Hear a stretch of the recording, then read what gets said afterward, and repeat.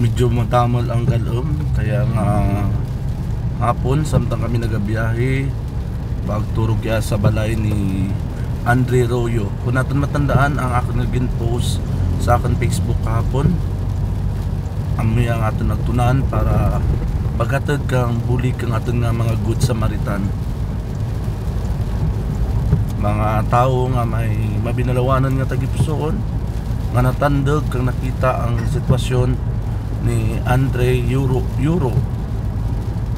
Kang Santa Cruz Pandan Antique.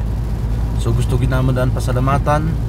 Shout out ang mga tao nga nabatyagan ang kaluoy. Kagidbutang sa aksyon para nga matigayon ang kinanglanan. Kagud ano pangabulig ang mabulig para maka-save no sa sitwasyon ni Andre Euro aton kasi manwa nga taga Santa Cruz Pandan nga nakaangkon kang bahol nga pilas sa ana nga tuhod tuga kang labo kung saan na pa nga magurang ang aking pamangkot kag napabayan tingid nga sa kawaradon pamilya nga ginbayaan kang andang uh, tatay padre di pamilya ang andang nanay nagpakamuhan man. So ang masubo ang anang tatay ng asawa ang bag-o ang anang nanay naman naman kang bag-o. So ang biktima ang mga biktima amo ang mga bata. Ang apiktu naapiktuhan amo niya ang mga bata nanda.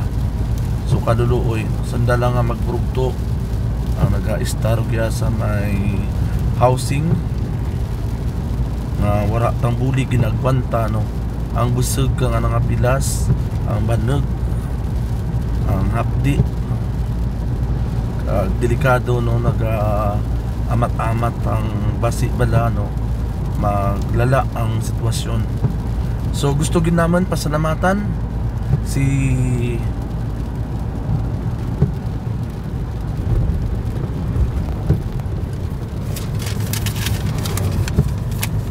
Ma'am Jocelyn Legitimas from Vienna, Austria, Europe nga nagpadara 500 pesos para sa bulig sa pamilya ni Ma'am Jocelyn nga mabinuligan from Vienna, Austria. Dordo ginyang salamat.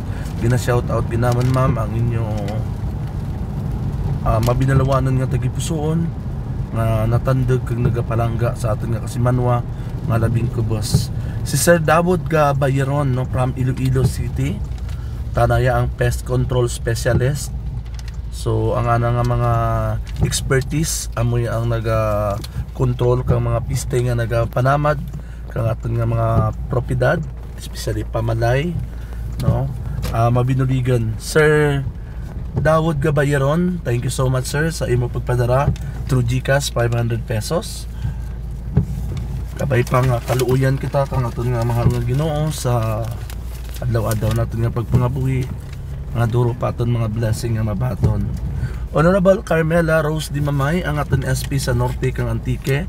Nagpadaraman 500 pesos kang makita ang sitwasyon ni Andre Euro natandig kita na kang nagkuon nga kung ano ang developments kung tanaya daron man sa ospital tana mabulig no?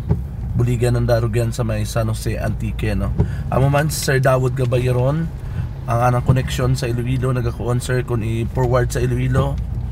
Uh, tana magapangita man pamaagi nga makabulig sa pamilya. And of course si Ma'am DC Juso Pronduso no? From Metro Manila balikbayan niya from Vienna Austria.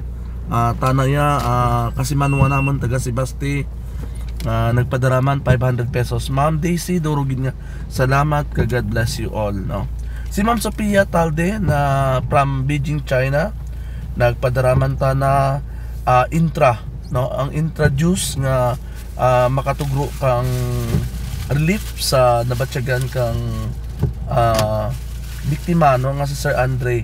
Si Ma'am Wilma Espartero from Sebastian Tique nagpadaraman kang ointment nga makapahagan-hagan sa banog nga ginabatyag kang aton pasyente no Turugyasan na naka-star sa Block 8, Lot 13 sa Santa Cruz Housing. Tao po! Ay, good afternoon. Agoy. Ay, ma'am. Anong ginabra ni mo, ma'am? Ang gintiwan ng ano ng tungkod lang. Sir, napabayaan. Anong gusto ni mga daran ikaw sa ospital? Ha? Pabulong sa ospital? Guys, no? Pakita natin. May iwag kami dyan. Um, napabayaan dito na. So, bahal rin dito na ang ano na. Pasigahan natin. Ma'am, ano yan, ma'am, na, na ano man ninyo, na tawag ka na na Okay, so, dan, amuron dan ang sitwasyon kang anang kahig. Taway ko katoon. Sa pangadlay. Nat natubuan na ikaw at pangadlay. Oo. Ma'am, idara natin siguro sa hospital ta na, ma'am. Duro man mabulig sa atin.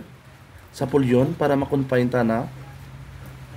Si Ma'am Karen gali no, nag-contact man sa atin from US nga naka-inform ta na sa mga nurse man diyan sa atin hospital sa Pandan nga kung paano mabuligan nagadalom ta na ng pilas, ma'am. Gang matanggal ng problema. Gadalon ba imo kagaduro bala imo wa imo gamayad. Okay. Dadaran ikaw sa ospital? Daran lang ikaw sa ospital?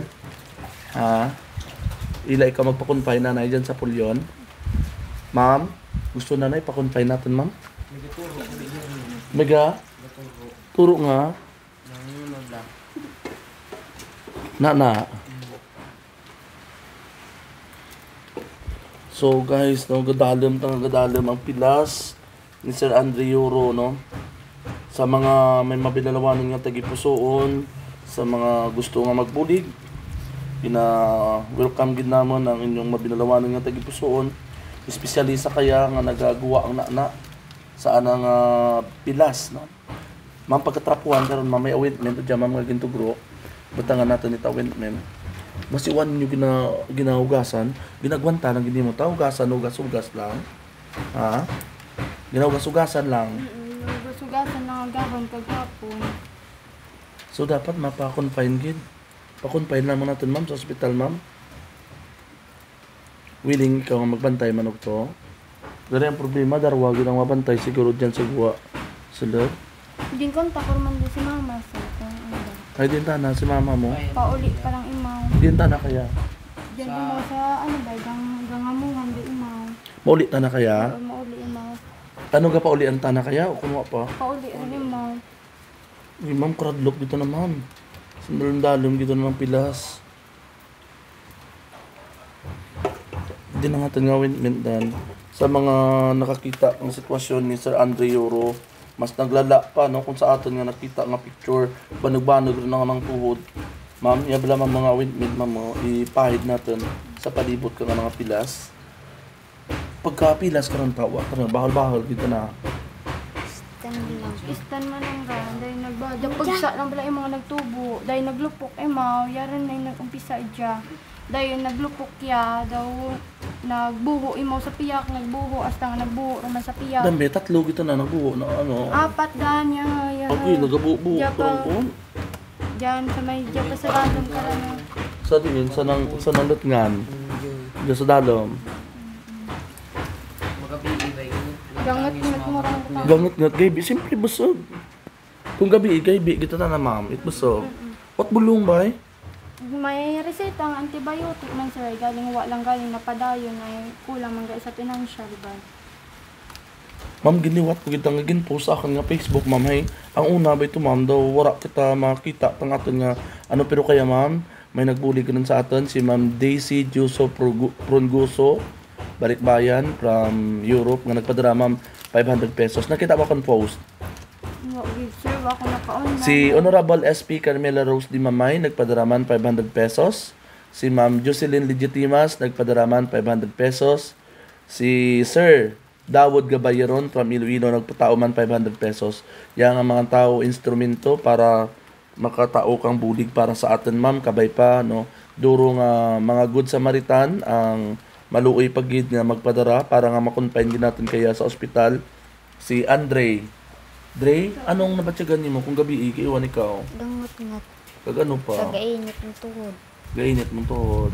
basi bala na infection nunto na ma'am nawili ta tuntong ano pagdamor nga nagalala na lukan ako nga basi kung hindi bala natin ma ano kani nga kaya habang may chance pa ma'am ubusa lang mo na ma'am sa mga pilas na nai ano. Habang may chance no nga mapabulong basi kung natitanos o kung ano